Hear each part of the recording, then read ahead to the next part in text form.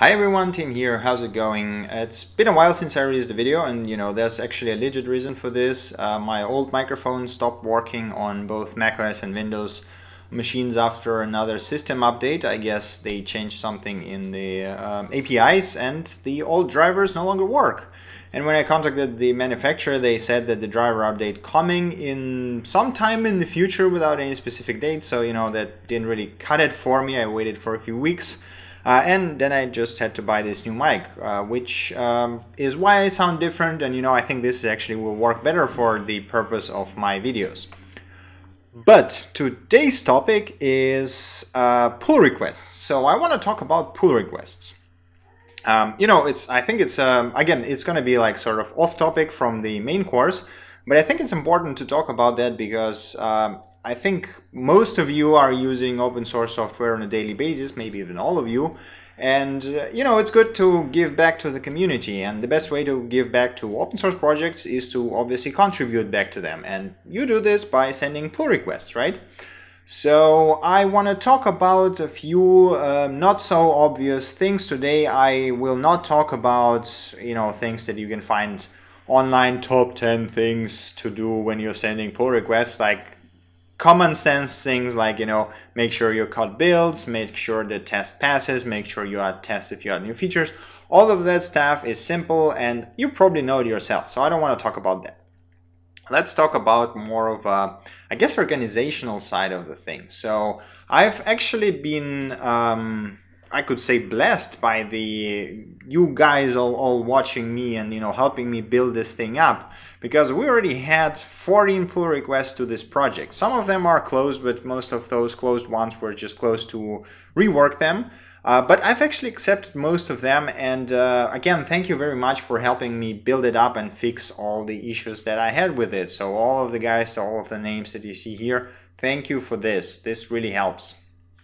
Uh, but today I want to uh, talk about this last pull request I actually got. Uh, again, it was by uh, the same guy Javier, and uh, I don't, like I don't I don't want to make it sort of a bashing video. I don't want to bash this pull request because the work here is really great and the code good is good and you know everything works perfectly fine. I just want to talk about how you can make merging of this of your work into the main project easier both for you and for the maintainer because this pull request, for example, I cannot merge it for uh, reasons I will explain over the video. Uh, so let's start with uh, the first major point that I actually have here prepared. And this is you should always do only one feature or one change per your pull requests.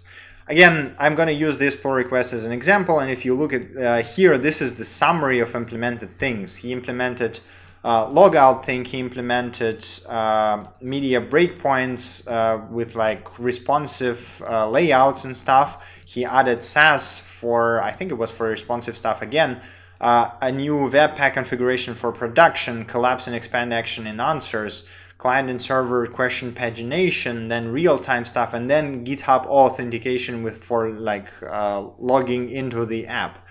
That is a lot of stuff. Actually, each of those points should have been uh, its own separate pull request. Because one, it will be way easier for me to review them. Uh, because right now, if I go to the, there's like 31 commit already. And if I open the changes tab, uh, this is basically like, I don't know, seven, eight pages of code. I actually did went through all of this uh, to review this, and you know it took a lot of time. Like I, I, I would prefer to um, spend less time on reviewing the code that you guys sent to improve um, the product, right? So I, I mean, I can show you the old uh, pull requests again from the same Javier, for example. Here he fixed the issue with notification, and this is this is actually how the good pull request looks, right? It's, it's short. There are some fixes here. It explains very well what it does.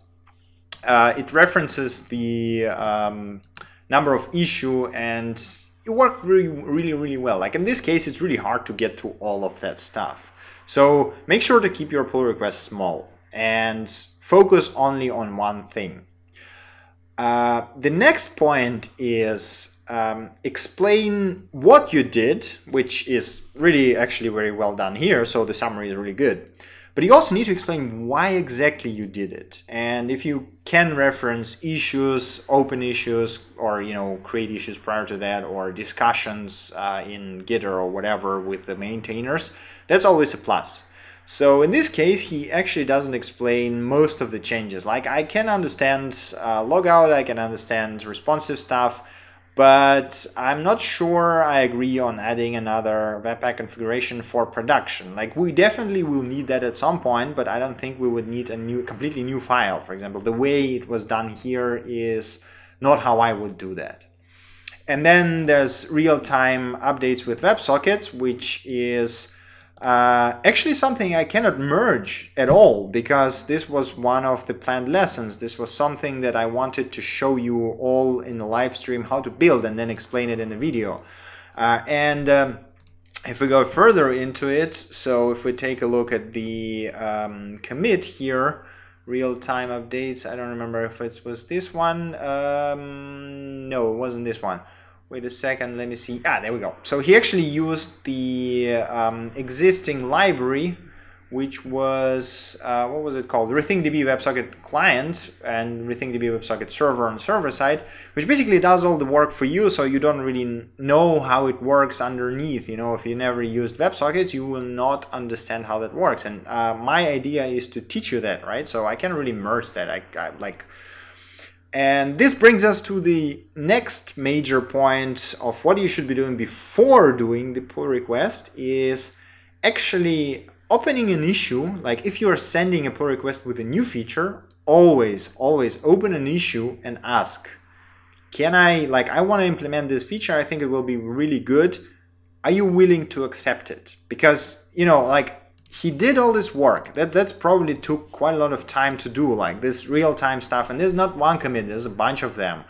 And it like it, it really hurts for me to think that I cannot accept it because I plan to do that myself and you know from scratch using WebSocket and so on and so forth. So basically, um, he just wasted his own time and then wasted my own time to review that and now I'm in a situation where I like I want to merge that because this is really good code, but I can't because I wanted to show it to everyone in the videos.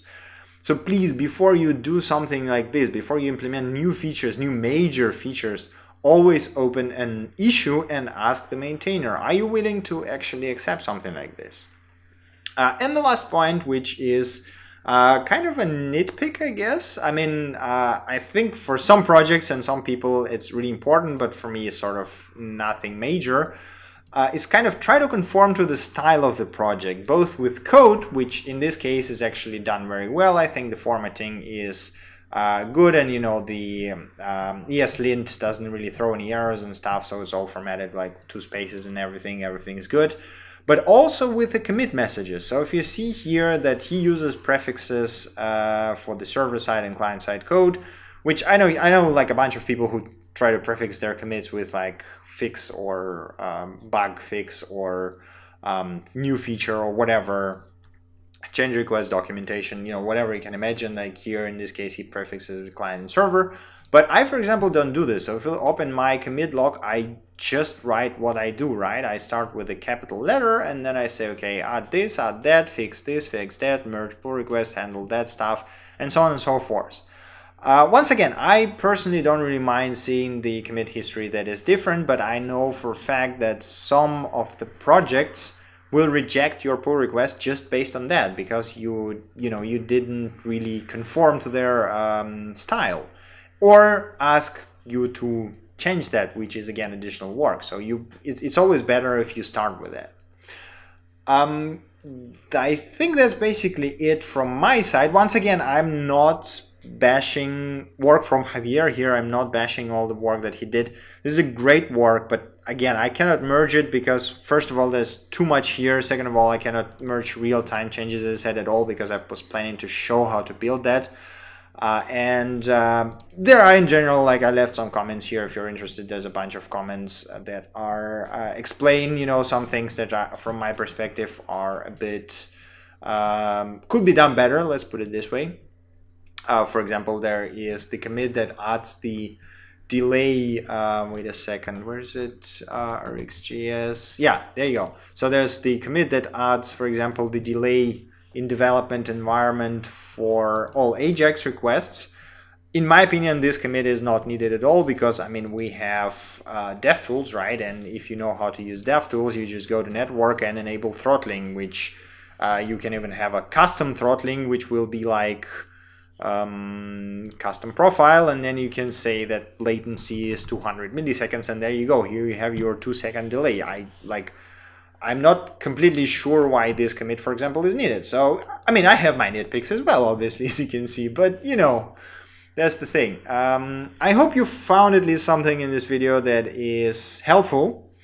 Uh, I'm gonna do live stream sometime around next week, probably, since I'm releasing this video now. So stay tuned and let's see how it goes. Um, and see you next time, guys. Bye.